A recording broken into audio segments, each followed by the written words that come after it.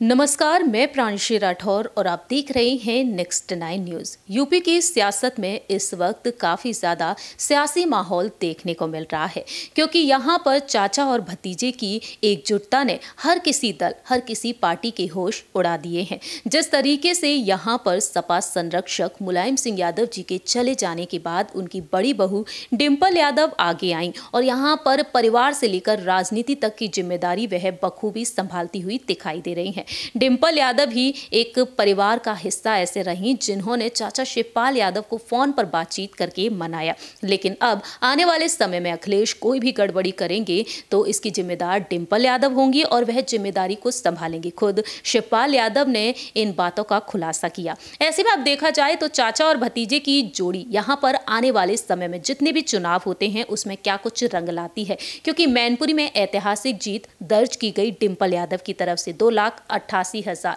चार सौ इकसठ मतों के अंतर से उन्होंने बीजेपी के उम्मीदवार रघुराज सिंह शाक्य को हरा दिया।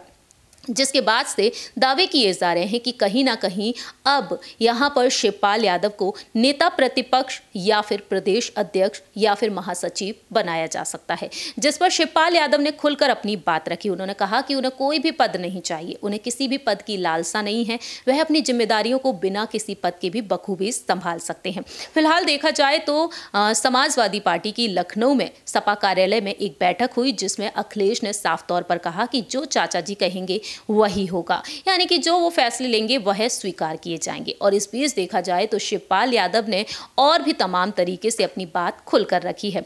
चाचा शिवपाल यादव ने यहाँ पर अखिलेश की जमकर तारीफ़ की है। नेता प्रतिपक्ष को लेकर यहाँ पर जो मांग की जा रही है, जो सवाल खड़े हो रहे हैं, उसको लेकर भी उन्होंने अपनी बात रखी। सबसे पहले शिवपाल यादव ने कहा कि वह अपनी आखिरी सांस तक सपा में बने रहेंगे, चाहे उन्हें समाजवादी पार्टी में कोई पद मिले या ना मिले। उनका कहना रहा कि समाजवादी पार्टी अध्यक्ष अखिलेश यादव के द्वारा कोई भी ज़िम्मेदारी सौंपी जाएगी। छोटी हो या बड़ी, कोई भी ज़िम्मेदारी वह ज़रूर निभाएँगे। लेकिन रिपोर्ट्स के मुताबिक जहाँ एक तरीके से कयास लगाना शुरू हुआ कि नेता प्रतिपक्ष उन्हें बनाया जा सकता है और ऐसे में यहाँ पर अखिलेश यादव चुप्पी साधे हुए नज़र आए। तो यहाँ पर शिवपाल कहते हैं कि विधानसभा में विपक्ष के नेता के रूप में अखिलेश अच्छा काम कर रहे हैं। सपा नेताओं को झूठे मामलों में फंसाया जा रहा है, समाजवादी पार्टी संघर्ष करती रहेगी और भाजपा सरकार अन्याय कर रही है। इस तरह से शिवपाल ने बात अपनी खुलकर रखी फ़िलहाल देखा जाए तो यहाँ पर अखिलेश यादव को छोटे नेताजी कहकर पुकारा जा रहा है। उनके बच्चे भी सोशल मीडिया पर तस्वीरों को साझा कर रहे हैं।